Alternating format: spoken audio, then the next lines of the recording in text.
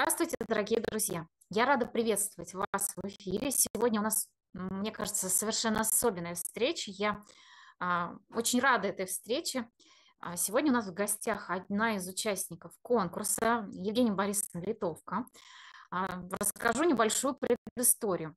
Прежде чем полноценно представить э, Евгению Борисовну, когда мы объявили конкурс для классных руководителей и получали от них видеовизитки, одна из самых, наверное, уникальных и запоминающихся видеовизиток была как раз от Евгении Борисовны. А, всем коллективам, кто участвовал в отборе, всех а, экспертов, которые этого видео покорило. Евгения Борисовна рассказывала про театр, который она организует и проводит вместе со своими студентами. То есть дети уже достаточно взрослые. И когда мы поняли, что Евгения Борисовна э, точно нужна нам как классный руководитель, да, взрослых детей, но тем не менее у Евгении Борисовны очень много того уникального опыта, который, мне кажется, сегодня нужно взять на вооружение. Поэтому, друзья, если вы планировали параллельно с вебинаром какие-то дела еще делать, я вам советую все отложить, отключить и включиться полностью в просмотр. Ну а теперь представлю полноценно Евгения Борисовна Литовка, преподаватель Оренбургского областного колледжа культуры и искусств. И мы сегодня с вами поговорим о том, какие же упражнения помогут и приемы помогут нам повысить вовлеченность и снять определенные напряжения. Евгения Борисовна, вам слово. А, добрый день, дорогие коллеги. А, спасибо большое за такую возможность поделиться своим опытом. А, я сегодня хочу поговорить с вами немножко о психофизическом тренинге. Звучит как-то, в общем, загадочно, и не всегда понятно, что с этим делать, и поэтому мне бы хотелось буквально на практике продемонстрировать вам, как это может работать за рамками вот этих процессов, к которым мы привыкли. То есть психофизический тренинг а, чаще всего используется а, в работе, когда мы а, занимаемся актерским мастерством или чем-то вот близким к этому ну или какими-то психофизическими практиками. Но я уверена, что практики, которые реализуются вот в этом формате, могут быть вполне использованы еще и в внеурочной деятельности и на уроках, и в формате работы классного руководителя, и вообще в формате преподавателя, человека, который работает с аудиторией, а, может быть, даже самой разновозрастной аудиторией. То есть мне хочется а, показать вам, насколько это легко и просто организовать и реализовать, ну вот пока мы рассматриваем это в формате внеурочных занятий. Уверена, что это можно использовать на уроках, можно использовать на классных часах и где где-то еще. А что нам дает, собственно, психофизический тренинг? Ну, во-первых, цель нашего а, с вами занятия – это повысить вовлеченность учеников в эту самую внеурочную деятельность и а, вызвать у них особый интерес, может быть, большую привязанность к учебному процессу, внеурочной деятельности и к коллективу. На самом деле когда вы э, включаете вот эти психофизические практики в свою практическую работу э, систематически, э, то, как правило, побочным эффектом от всего этого э, у вас получается сплоченный, дружный и творческий коллектив готовый на всякие ваши идеи, какие-то креативные затеи и прочее. Вот, собственно, такая задача перед нами стоит. И какие-то простые упражнения сегодня а, я вам продемонстрирую. А, к чему мы стремимся, когда занимаемся психофизическим тренингом? А, как, на, как в формате актерского мастерства, так и в формате театрализов... и, так и в формате учебного процесса. Мы стремимся в первую очередь, сейчас минуточку, вот так я гуляю, да, извините, мышка очень тонко работает. А, мы стремимся к чему? К развитию очень простых э, навыков, но необходимых каждому э, человеку. Это э, способность концентрировать внимание, это развитие воображения, обязательно снятие стрессоустойчивости. А как, как вообще сформировать у ребенка стрессоустойчивость, например? Ну, просто создавать ему какой-то позитивный стресс он научится с ним справляться и через какое-то время поймет, что он может вполне контролировать свои эмоции, а, там, а, например, при публичных выступлениях. Да? Ну и, конечно, а, когда вы создаете этот вот небольшой, но приятный стресс, где в итоге получается какой-то эффект успеха, то у ребенка появляется и еще и вера в себя, в свои возможности, и доверие к коллективу, с которым он а, взаимодействует. И вот первое упражнение, если позволите, сразу к практическим занятиям перейдем. Первое упражнение, с которым я хотела вас познакомить. Упражнение называется пересказ. Ну, по сути, мы буквально будем заниматься именно этим. То есть пересказывать. А, формат такой. Это можно делать, то есть я, э, как правило, делаю это в аудитории, где нет парт, потому что я веду актерское мастерство, но, на мой взгляд, это вполне работает в классной аудитории. А когда вы одному из учеников, но если учеников много, потому что я знаю, что классы э, очень часто переполненные, да, 30 человек это много, а можно разделить ребят по рядам например, да, и одному из учеников ряда или целого класса а, вы рассказываете или рассказываете какой-то текст. Ну, можно просто зачитать небольшой отрывок. Отрывок должен быть реально небольшой, то есть это пол листа печатного текста вполне достаточно. Причем из любого формата вот, художественного материала. Вы читаете этот текст, и потом каждый следующий участник э, этот текст пересказывает всегда интересно, что получается в финале. Вот сейчас я хочу буквально показать вам это упражнение на видео. Есть такая возможность у нас, мы отсняли это с моими студентами. А, внимание на экран. Друзья, давайте посмотрим видео с нашими чудесными материалом. Я, вот, я имела возможность это видео посмотреть до, поэтому вам желаю хорошего просмотра, оно того стоит.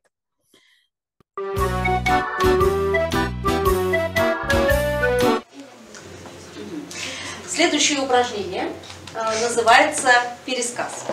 Мы будем пересказывать текст, э, передавать его содержание от одного участника к другому. У нас сегодня такая длинная, большая цепочка получится. Нам интересно, э, что ребята смогут в итоге пересказать друг другу и какая информация дойдет до последнего участника. Ваша задача, ребята, максимально запомнить э, ту информацию, которую вам будут передавать. Э, сам технически сам процесс происходит так. Один человек остается в аудитории, я э, передаю ему текст, содержание текста. Э, дальше по очереди участники заходят, внимательно слушают и передают то, что услышали следующему участнику. Крайний участник, который заходит, рассказывает все, что осталось от текста всей аудитории. В итоге мы сравниваем начальный текст с тем, что осталось. Задача понятна? Да. Тогда кто остается? Итак, вы слушаете внимательно текст. Ваша задача сохранить героев, сохранить сюжетную линию, что там произошло, да, ну или, может быть, и закончить, да, чем все закончилось, тоже запомнить. Итак, один странный паровозик из Ромашкова все время опаздывал. Однажды начальник станции ему строго сказал, если вы еще раз опоздаете, то... И паровозик все понял и загудел. Последнее честное благородное слово – и странному паровозику поверили в последний раз. Ехали, ехали, и вдруг голос из леса. Фьють! Вздохнул паровозик и в лес направился. А пассажиры стали кричать, безобразие, мы же опоздаем. Конечно, сказал паровозик. И все-таки на станцию можно приехать позже. Но если мы сейчас не услышим первого соловья, мы опоздаем на всю весну. Кто-то пытался возразить, но самые умные согласились. И всю ночь весь поезд слушал соловьиные пение. К утру поехали дальше. И вдруг Нежный запах из рощи. Вздохнул паровозик и в рощу направился. «Безобразие!» – закричали опять пассажиры. «Опоздаем!» Если сейчас мы не увидим первые ландыши, мы опоздаем на все лето. И весь день, весь поезд собирал первые ландыши. Только к вечеру поехали дальше. Выехали на горку, взглянул паровозик вдаль и остановился. А теперь зачем стоим, удивились пассажиры. Закат, только и сказал паровозик. Вот здесь остановился. Хорошо? Ну вот, собственно, мы зовем следующего участника. Итак, жил однажды один очень странный паровозик из ромашки. Он все время опаздывал. И начальник станции ему сказал, последний предупредительный, если ты еще раз опоздаешь, будет очень плохо. Честное, причестное, сказал паровозик и загудел. И поехал. Едет по железной дороге, и тут слышит флюте. Заехал, остановился, и все начали возмущаться. Что это такое за безобразие? Почему мы никуда не едем? И останавливается. У него спрашивают, почему ты остановился? А, он говорит, если мы сейчас поедем, то пропустим первое пение соловья. И будет плохо. Второй раз едет, едет, едет, едет. Остановился. У него спрашивают, что ты остановился? Ну как я могу пропустить первые ландыши? Подснежники, первые подснежники. Я говорю, ты правда, собирали до вечера. А, в общем, останавливал, остановился вот так раза три. Приехал, то опять остановился. Закат. И вот он еще раз, еще раз остановился и увидел закат. А потом он, короче, три раза так ездил и увидел закат. Спросили, почему ты опаздываешь? Он сказал то, что я хочу видеть подснежники. Так он катался три раза, три раза. Меня спросили, почему ты опаздываешь? Он сказал, подснежники. Короче, был поезд. Он три раза по кругу катался, катался, катался и опаздывал. После этого у него спросили, почему ты опаздываешь? Он сказал, подснежники. Смотри, был поезд, он по кругу катался, катался, катался. После этого него спросили, почему ты опаздываешь? Он сказал, подснежники. Ну, смотри, поезд. Тихо, ребят. Он по кругу катался, катался, катался. Он катался по, по кругу, катался, катался, катался, катался. Поезд. Он ехал по кругу, катился, катился, катился, катился, катился, катился. У него спросили, почему ты катишься? По снежнику. У него спрашивают, почему ты катишься? Это по снежнику. Все. Ехал поезд по кругу. У него спра... А, катился, катился, катился, катился. У него спрашивают, ты что, катишься? Он такой, это подснежник. Все. Катился поезд по кругу, катится, катится. У него спрашивают, это ты катишься? Теперь нам Вика рассказывает, что у нас в итоге получилось. И потом мы будем оригинальный текст слушать. Значит так. Катится поезд, катится, катится. У него спрашивают, это ты катишься? А все, дальше Ладно, хорошо. Слушайте, что вы рассказали, собственно. Один странный паровозик из Ромашкова.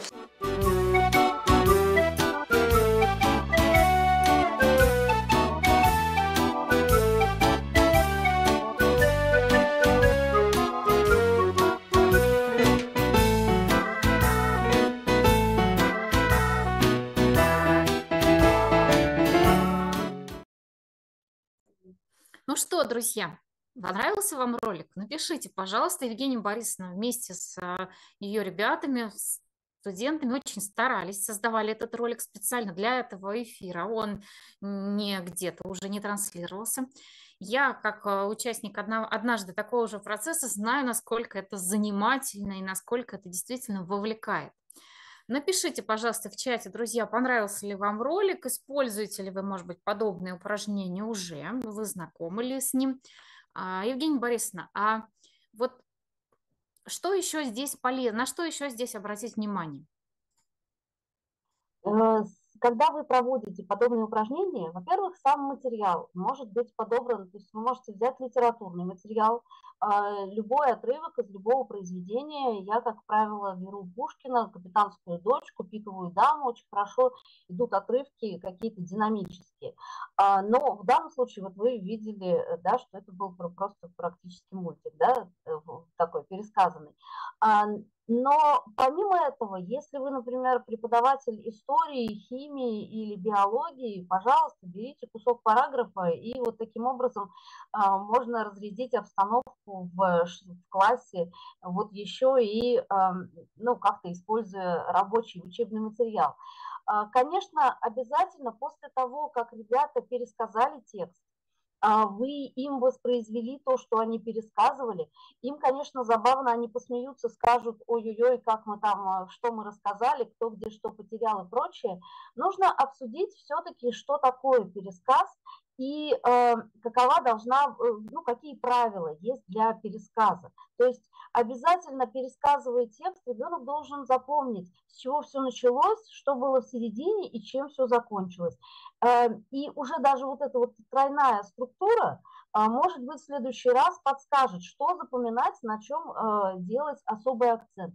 Помимо этого, действующие лица или персонажи, имеющиеся в э, данном отрывке э, тоже обязательно желательно, желательно сохранить их имена и э, сохранить их поступки, какие-то основные действия. И только потом уже переходить на детали. Потому что очень часто, желая сохранить детали, уходя в подробности, мы в пересказе уходим от смысла самого текста и переделываем его так, что до, ну, буквально до неузнаваемости. И это всегда удивительно, потому что у всех участников, абсолютно у всех участников вот тренинга, который вы видели, было желание пересказать именно так, как им рассказали. И вот это желание, несмотря на все на это, э, желание не вполне сбылось, как вы заметили. Да? А что еще хочется добавить к вот подобному упражнению? Э, в содержании подобного упражнения может быть не обязательно художественный текст. Вы можете дать своим ребятам картину. Вот точно так же, как первому мальчику я зачитывала текст, я могла ему дать картину. Но мы берем, как правило, передвижников, а, то есть картина, где есть персонажи и какая-то история. И э, первый участник смотрит на эту картину, запоминает ее. Вы можете сделать акценты на чем, э, ну, то есть первый план, второй, третий план, э, какие персонажи, сколько людей, э, какой общий фон картины и так далее. И после этого э, задача участников пересказать содержание картины. Это, как правило, тоже такая метаморфоза происходит э, с этим изображением, а, что очень редко, чтобы там финальный итоговый пересказ совпал с оригиналом. Но тоже получается забавно, интересно, и в этом а, случае мы еще и развиваем пространственное мышление, то есть что расположено справа, что расположено слева, по центру, на первом плане, на втором и так далее. То есть вот можно такие вещи э, практиковать. Если занятие внеурочное, и вам нужно э, именно, ну, может быть, в какой-то мере развлечь или даже при, э, сделать какое-нибудь соревнование, организовать, то можно еще этот же тренинг провести, но уже используя, э, скажем, какие-то танцевальные движения. То есть вы берете девочку, которая занимается хореографией, э, оставляете ее в классе, все остальные выходят, э, она вам показывает, ну, там, две восьмерки, движений, а потом зовет следующего, показывает ему, и так ребята передают друг другу по а, цепочке движения.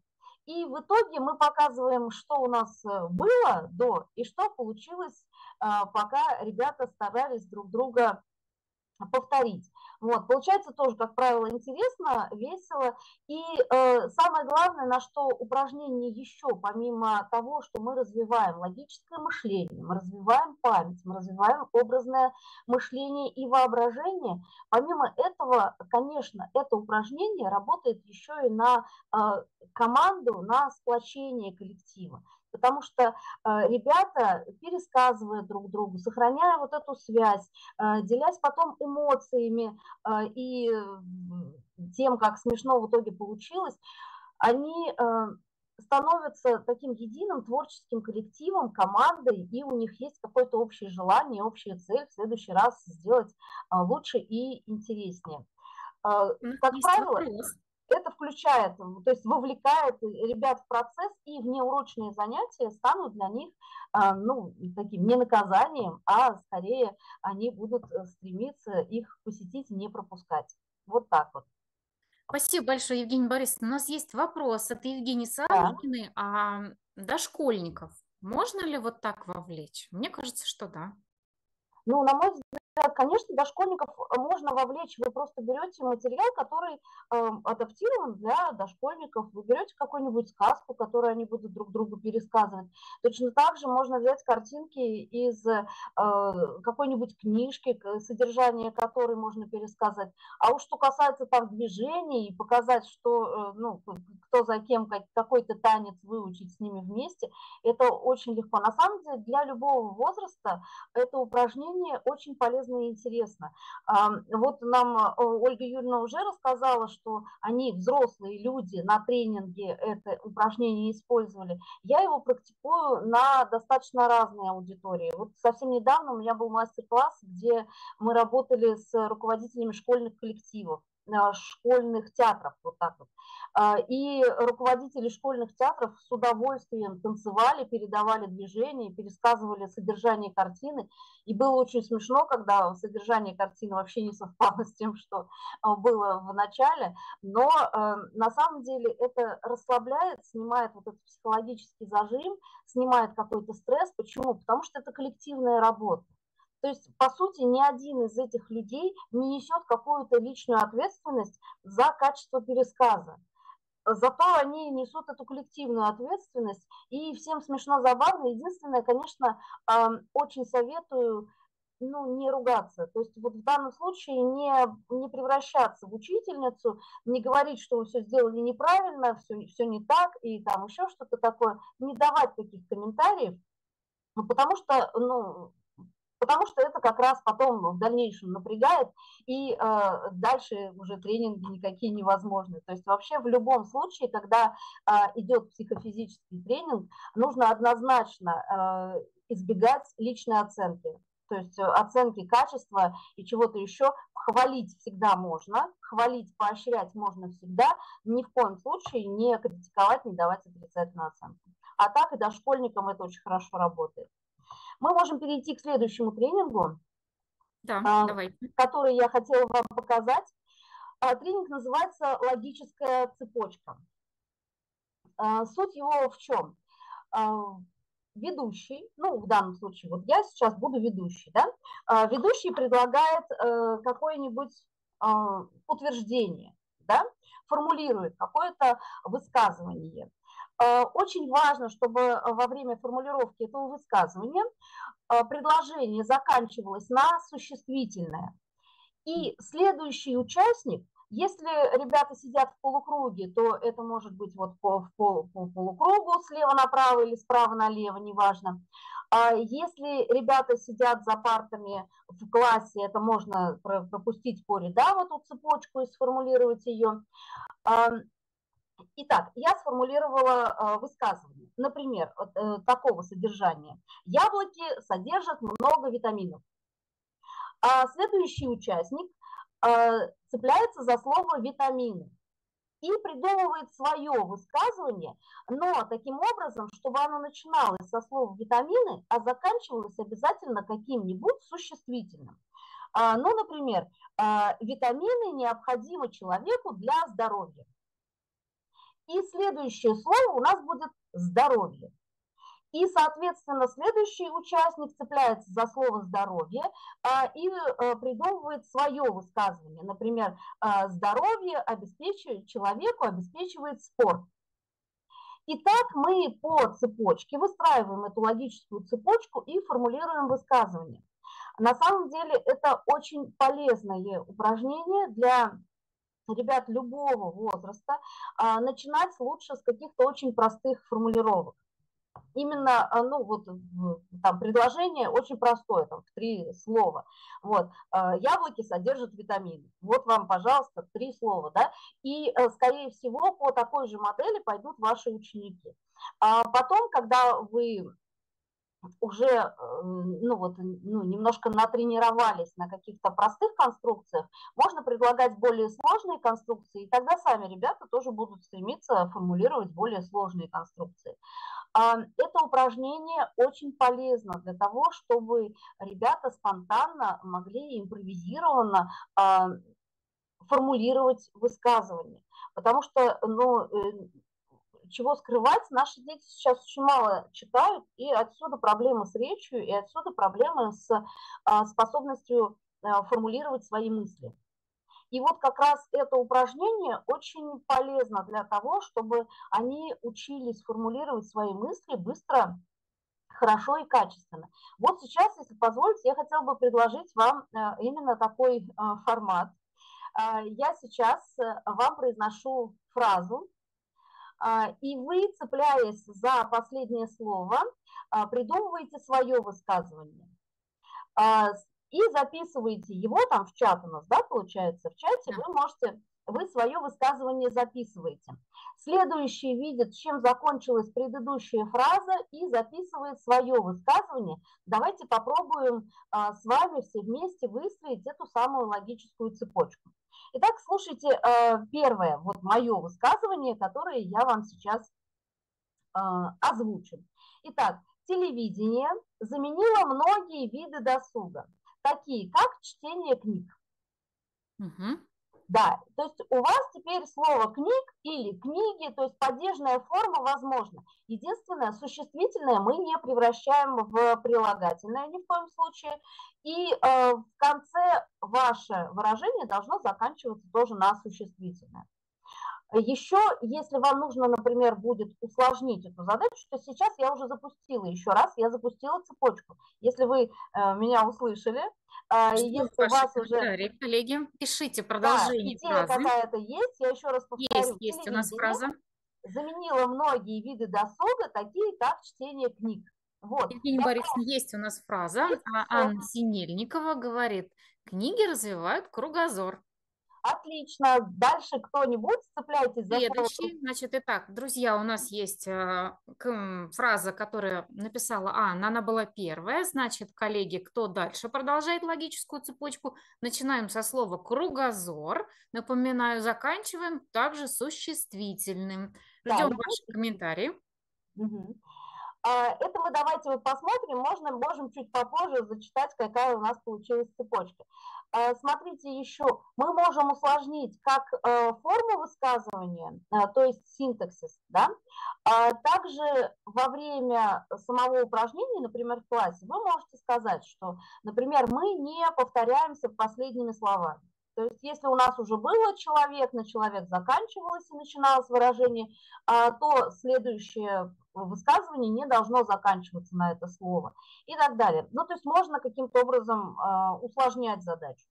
А, Еще задача может быть усложнена тем, что вы обозначите тему. То есть все наши высказывания будут, например, связаны с историей или обществознанием или еще более узкую тему вы назначили, это воля ваша. Так, есть у нас двигается цепочка? Есть у нас комментарий, он не совсем э, получился по правилам. Елена Двой, э, Двойникова. А, Кругозор читающих детей шире, чем не читающих. Здесь окончание вот от Татьяны Черноокой есть еще комментарий. Кругозор важен для развития каждого человека. Предлагаю вот эту фразу взять. Да, за человека цепляемся. Итак, у нас следующая фраза начинается со слова «человека». Можно угу. изменить, может быть, человек. Но, напоминаю, заканчиваем существительным. Да. И смотрите еще. Можно это же упражнение а, давать в более сложном формате, когда вы, теперь мы уже не делаем эту логическую цепочку, чтобы мы цеплялись от слова за слово, а придумываем высказывание, например, на три заданных существительных. А, я, э, ну, допустим, да, я вам сейчас предложу вот такой вариант. Машина, прогресс, лопата. Вот мы взяли три слова и из них э, придумали высказывание. С развитием прогресса лопата стала не нужна в процессе сборки машины. Вот таким образом э, мы придумали высказывание. Можно точно так же забросить какую-то удочку, вот вы дали три слова, и ребята придумывают высказывание. Это точно так же работает на развитии и логического мышления, и э, способности формулировать свои мысли, потому что очень часто у ребят э, есть такая прям действительно проблема. Вот. Можем э, запустить этот вариант еще тоже? Я думаю, что нет. Мы Нет? предложим это сделать нашим коллегам уже самостоятельно. Зрители, Хорошо. попробуйте. А, Итак, напоминаю, вы берете три слова, три существительных, предлагаете, если вы педагог-предметник, можете взять эти существительные своего предмета. Если вы хотите этого реализовать в рамках какого-то классного мероприятия или вне классного, то выбирайте его под тему, предлагаете детям построить фразу, которая будет первой, и дальше запустить цепочку. А, ну а мы идем дальше, у нас не так Да, много нас времени осталось. Хорошо, да, у нас есть еще одно упражнение, мне бы очень хотелось вам его показать, упражнение, а, которое называется руки. Почему мы его так назвали? Потому что руки здесь имеют значение, да, а, тоже. Вообще оно а, про вербальное и невербальное общение и его возможности. И я предлагаю сейчас сначала посмотреть видео, потому что все сразу будет понятно, а дальше я дам дополнительный комментарий, и если будут вопросы, с удовольствием на них отвечу. Отлично. А, Перед видео я хочу прочесть э, последнюю фразу из цепочки. Человек, от- опять же, от Елены. Э, Человек, читая сказки, учится доброте. Отличное Мгм. окончание вот той логической цепочки, которую мы начали. Ну а теперь давайте посмотрим упражнение «Руки». Поверьте, оно не менее интересное, чем упражнение «Пересказ».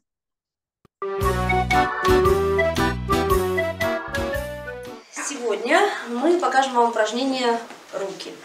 Ну, так мы его назвали, потому что руки здесь э, тоже имеют большое значение, А, но на самом деле мы продемонстрируем, как работает вербальное и невербальное общение, если разделить эти процессы. А, Если руками будет один человек, а говорить будет другой человек. А, Как это можно объединить или э, как из этого можно сделать целое упражнение. Вот сейчас у нас есть ребята, поехали. Да, вот садится один студент, прижимается к спинке стула. Второй студент присаживается рядом, садится. Руки здесь видно хорошо? Да, да, да. Нет, руки давайте сюда. Руки мы отправляем вот сюда. А эти приходят сюда. Ноги, да, вот так, вот таким вот образом. А, Чтобы у зрителя, который смотрит фронтально на эту историю, было четкое понимание, что вот у нас есть человек, и вот у него есть такие накрашенные, красивые, с маникюром руки. Так, Хорошо. Вот сначала мы усаживаем всю эту конструкцию и объясняем, что вы будете говорить на заданную тему, которую мы сейчас придумаем. Вот. Ну, а руки а, сопровождают речь жестами. А, Причем руки могут не только сопровождать жестами, но и делать какие-то вещи, которые, да, которые мы обычно делаем. Ну, например, поправляем волосы, чешем за ухом, где-нибудь еще чешем. То есть все, что угодно может происходить. Да. И так руки могут взаимодействовать, собственно, с говорящим человеком. Сейчас нам э, Егор расскажет про харизму, даст определение этому понятию, да, как он. Ну, насколько, насколько. Хорошо. Э, Поехали, пожалуйста, наблюдаем за процессом. Всем привет! Мои дорогие одногруппники. Сегодня я вам расскажу про такое понятие, как харизма. Кто-то думает, что люди рождаются с харизмой, кто-то думает, что люди ее приобретают. Но в целом харизма – это то, как мы себя преподносим другим людям в течение своей жизни. Расскажу про главные аспекты. Что я зачесалась что-то.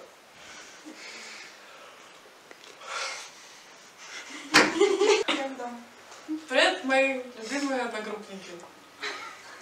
А, итак, сегодня тема для разговора будет любовь. А, почему я сказала именно любимые одногруппники? Потому что я вас люблю. Не от всего сердца, конечно, но люблю. Что же для меня понятие любовь? Каждый человек видит его по-своему.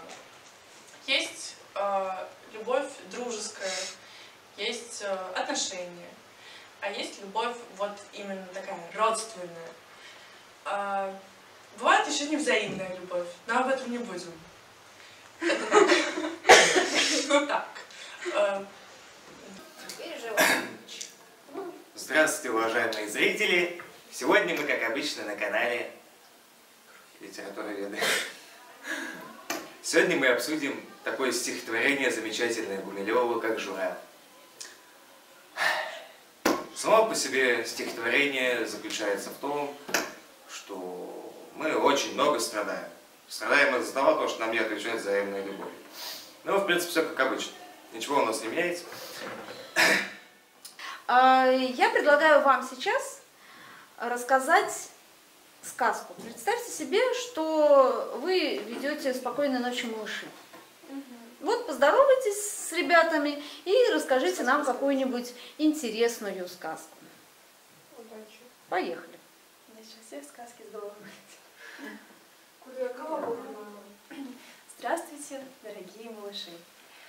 В эфире у нас программа «Спокойной ночи, малыши». И я ведущая Мучкарева Ирина. Итак, укладывайтесь поудобнее, накрывайтесь пледом, закрывайте глазки и внимательно слушайте. Жили-были дед и баба, и была у них курочка ряба. И снесла им курочка ряба яичко. Не простое, а золотое.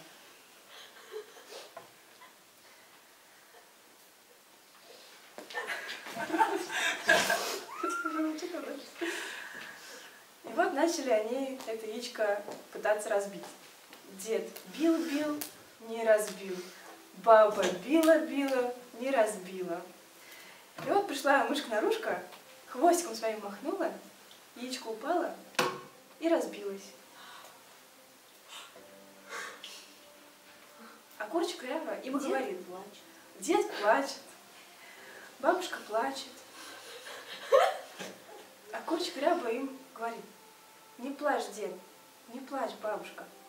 Я вам новое яичко снесу. Не золотое, а простое.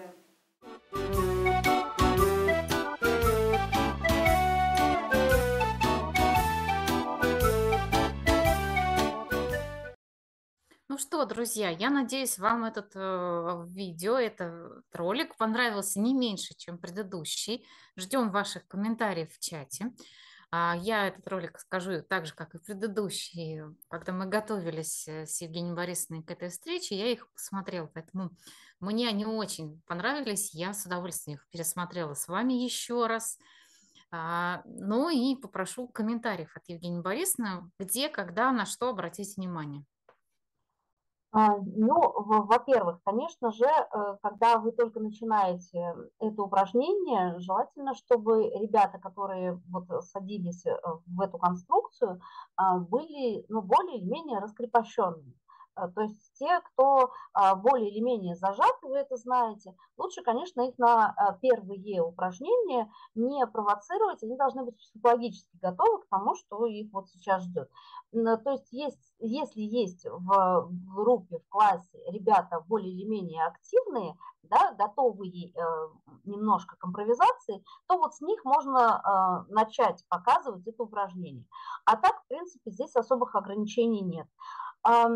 Мне бы хотелось обратить внимание про что? Про тематику э, разговора.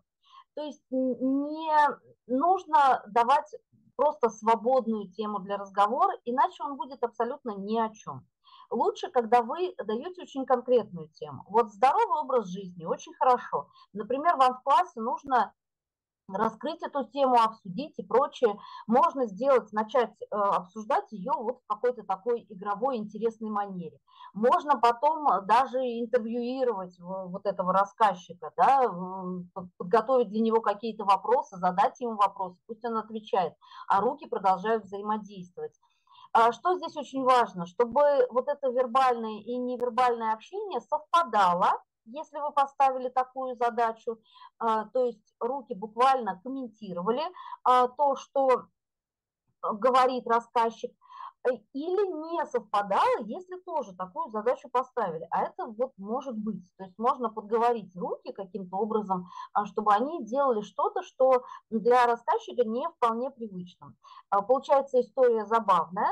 А, Тут главное не переходить какие-то ненужные границы, потому что вы понимаете, что в принципе внутри этого упражнения ребятам не вполне комфортно, по- потому что нарушается вот этот ну, психологический дискомфорт присутствует, по- потому что нарушается дистанция. И поэтому, если ребенок говорит «нет, я не буду этого делать», то, наверное, и не стоит этого делать, значит, он пока не готов. Через какое-то время вы э, там вернетесь к этому тренингу, и, возможно, тогда он захочет в этом поучаствовать. Но если, опять же говорю, если э, ситуация психологически для ребенка некомфортная, то я бы, например, настаивать не стала. Вот. Это такой важный момент. А про что можно говорить? Про здоровый образ жизни, про, про вред курения, а, про алкоголь можно разговаривать, про любые темы абсолютно. Они в каком-то таком формате, есть повод потом еще и обсудить, можете даже сами какие-то вопросы задавать. А, также неплохо идет э, какой-то литературный материал, очень хорошо идут сказки. Вот э, на примере вы уже видели, да, а, хотелось бы, чтобы этот монолог был закончен.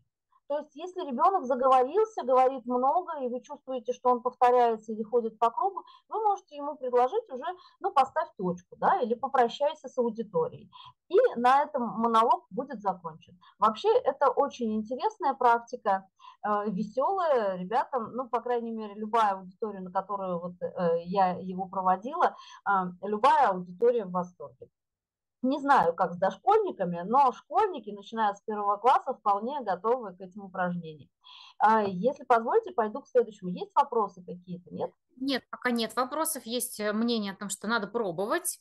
Давайте еще одно упражнение, я знаю, у нас заготовлено. Да, еще одно упражнение я хотела э, предложить. Это тоже э, практика для того, чтобы формировать способность у ребят э, к публичным выступлениям. Это очень частая проблема в школе, то есть ребенок выходит к доске, что-то мямлет, гудит, учитель его кое-как расслышал и уже ставит оценку. Нет вопросов к тому, а как он это сделал. Ну, только если на уроках литературы нам требуется какая-то выразительность. А вот хотелось бы, чтобы ребенок мог свободно высказывать свои мысли, а, импровизировать и при этом доста достаточно а, комфортно чувствовать себя перед аудиторией, например, перед классом, потому что класс – это самая удобная аудитория, она уже знакомая, как правило, а, мы знаем, чего ждать от этой аудитории и ну, испытываем меньше стресса, когда встаем перед классом. Вот смотрите, упражнение импровизация. А, я думала, что будет возможность его как-то сегодня провести, но у нас немножко другой формат, поэтому а, включайте воображение. А, я вызываю одного участника и предлагаю ему говорить на заданную тему. Мы с аудиторией выбираем тему, которая от него далека.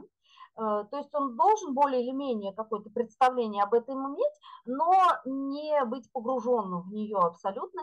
И в течение трех минут, мы прям засекаем секундомер, и в течение трех минут а, участник говорит на заданную тему. Ну, для девочек это могут быть автомобили, для мальчиков это может быть маникюр, прически, что-нибудь такое, и они начинают импровизировать в свободном потоке. Три минуты. Это на самом деле кажется просто, но не всегда просто, когда дается какое-то конкретное время, а слова уже закончились, и нужно придумывать, куда эту речь уводить. Еще один вариант этого упражнения, когда вы выводите на площадку не одного оратора, а троих.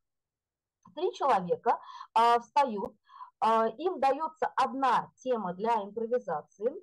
А, первый участник начинает, второй ну, начинает и говорит ровно минуту, потом вы его прерываете, начинает второй участник, и еще минуту говорит третий участник.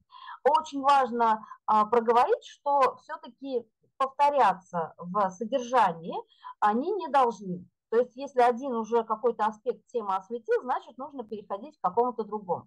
Не повторяются импровизирующие. Вот э, такой вариант упражнения для импровизации учит детей свободно говорить на заданную тему, даже не совсем знакомую, ну и, э, конечно, держаться перед аудиторией, перед э, своим классом а, тоже.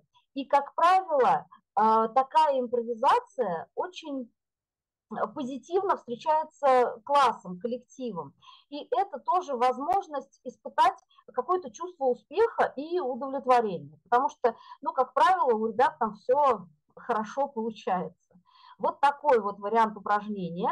А, я на перспективу обязательно проведу его со своими студентами и э, постараюсь разместить вот в своей мастерской. У вас будет возможность увидеть, как буквально это упражнение проходит. Еще один вариант такого же упражнения, э, когда человек говорит на свободную тему, но вы его вызываете и предлагаете ему роль. То есть если в первом варианте упражнения он говорил от первого лица, то есть от себя самого, и рассуждал на какую-то свободную тему, то вот здесь, например, вы э, вызываете на площадку девочку и говорите, представь себе, что ты русалка. И ее задача рассказать о том, какая она русалка, где она живет, э, что она ест, э, там, я не знаю, как она проводит время и так далее. Или вот представь себе, что ты Дед Мороз. И человек рассказывает про то, какой он Дед Мороз, где он родился, где он живет, какие дела делает, чем он занят и так далее. И после того, как он, а, вы можете, опять же, ограничить ему время монолога. Например, одну минуту он говорит или две минуты. Если взрослые, то они и три минуты могут говорить. Э, все зависит от формата и сколько вам, собственно, нужно. А, но после того, как он проговорил вот этот монолог, вот русалка рассказала там про свое детство, про то, что она ест, про то, а, с кем она дружит, а потом класс задает ей вопрос. То есть класс задает вопросы русалке а как она, э, например, любит ли она танцевать или там еще какие-то дополнительные моменты, как она спит, например, да, или выходит ли она на берег, или еще что-то. А, то есть задаются вопросы, и а, человек, участник, э, который вот здесь только что рассказывал, какая она русалка, отвечает на эти вопросы именно от имени русалки. Вот э, такой вариант. Здесь уже активно подключается воображение. Э, дети импровизируют ну, на более высоком, скажем так, уровне, именно творческом к этому этапу я бы переходила после первого. То есть вот первое – это просто интервьюирование и э, разговор на, свобод, на заданную тему, а, но пока еще без каких-то актерских задач. А вот э, когда мы говорим про интервью, здесь уже потребуется, да, и актерская задача. Ну и э, сама аудитория выступает в качестве журналистов, то есть они должны тоже сформулировать вопрос, задать его, услышать ответ и, может быть, какое-то подтверждение своему высказыванию. Вот такие упражнения я хотела а, вам сегодня предложить. На самом деле, обобщая вот этот наш материал, я а, хочу сказать, что психофизический тренинг и упражнения подобного плана снижают стресс а, для ребенка, вот, находящегося в школе, снимают э, вот это вот э, напряжение, которое они часто испытывают после там шестого-седьмого урока, приходя к вам на внеклассное занятие или что-то еще. А, и э, у каждого этого упражнения есть какая-то а, практическая функция, формируется навык, развивается логическое мышление или формируется способность концентрировать внимание, развиваются э, креативное мышление, творческое, э, развивается способность к общению и импровизации. А, поэтому мне бы очень хотелось чтобы а, ну, педагогические работники, работники в школе, преподаватели, учителя, а, классные руководители обращались к подобным практикам, чтобы занятия становились интереснее и детям хотелось идти в школу. Вот такая у меня стоит задача. И если вам это интересно, а, я, собственно, адресую вас в свою мастерскую, а, которая уже открылась. Там э, небольшое количество тренингов уже есть, но я постараюсь ее обновлять так, чтобы там появлялись новые упражнения и новые практики. Вот то, что вы увидели сегодня, тоже будет там а, представлено и описано. Ну и эм, я думаю, что полезнее всего будет не просто описать э, какие-то упражнения, да, но показать их буквально. И мы с моим курсом, у меня сейчас студенты второго курса как раз осваивают основы актерского мастерства, у них очень много тренингов и упражнений, и мы буквально снимаем их и даем инструкцию вам визуальную, как можно а, провести тот или иной тренинг. Поэтому, пожалуйста, обращайтесь. Если вам это интересно, можно зайти а, вот сюда вот на э, вот слева QR-код. Это школа актерского мастерства. Маска, мы ее открыли в ВК. Там только упражнения, а, тренинги, этюды, а, то, что может быть вот интересно, если вы решитесь э, заниматься подобными практиками. Я благодарю за внимание и благодарю за такую возможность высказаться. Спасибо большое, Евгения Борисовна. Здесь очень много комментариев уже начали появляться. Друзья, если вам этот вебинар понравился, не забывайте ставить лайки под видео. А, я озвучу несколько комментариев, прежде чем завершим мы сегодняшнюю встречу. Ольга Позднякова говорит, мне кажется, что подобные методики на уроках можно применить особенно на литературе. Это было про интервью в том числе. А, Наталья Шингарева говорит, очень интересно, обязательно возьму на вооружение, буду применять на своих уроках. Ну и коллеги уже пишут много слов спасибо. Ну что, друзья, в завершении нашей сегодняшней встречи я хочу прежде всего поблагодарить Евгению Борисовну. Я вам обещала, что встреча будет интересная. Встреча действительно была уникальная, интересная. Мы такие встречи будем продолжать 26 ноября во вторник. Мы будем встречаться с еще одним участником этого же проекта «Методический а, проактив классных». И у нас будет тема «Дидактический театр». А, вы не поверите, там будет совершенно тоже уникальная история. Педагог начальной школы, мужчина, который будет рассказывать нам о совершенно тоже интереснейшем опыте. Поэтому приходите, подписывайтесь. Ну и в, в завершении, совершенно в конце нашей сегодняшней встречи хочу сказать, что заглядывайте к нам в каталог. У нас есть совершенно чудеснейшая настольная игра «Кто живет в картине». Там про очень схожая история, вот про что уже мы немножко вам показали. Там есть задача игрока узнать по силуэту на картине, из какой же картины это, этот персонаж, кто художник. Ну и, конечно, мы совсем скоро ждем в каталоге у нас появится настольная игра театр «Спящая красавица». Поэтому э, заглядывайте, подписывайтесь. Я жду вас на следующих наших встречах а это будет 26 числа. Евгений Борисовна, спасибо вам большое. Буду рада, если у вас возникнет желание выйти в эфир и еще чем-то поделиться. С удовольствием с вами пообщаюсь. Спасибо всем, кто сегодня подключился к эфиру, за ваши комментарии отдельное спасибо. Они нам всегда очень нужны и важны. До новых встреч, друзья. Спасибо большое, да, коллеги.